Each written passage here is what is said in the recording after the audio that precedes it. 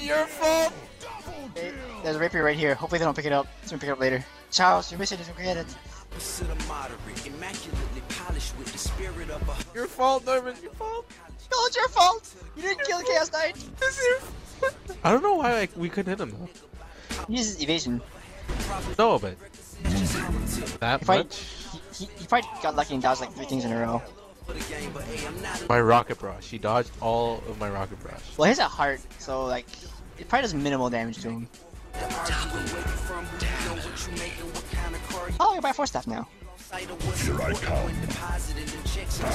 There, Charles. It is there. What happened? What? The. what happened?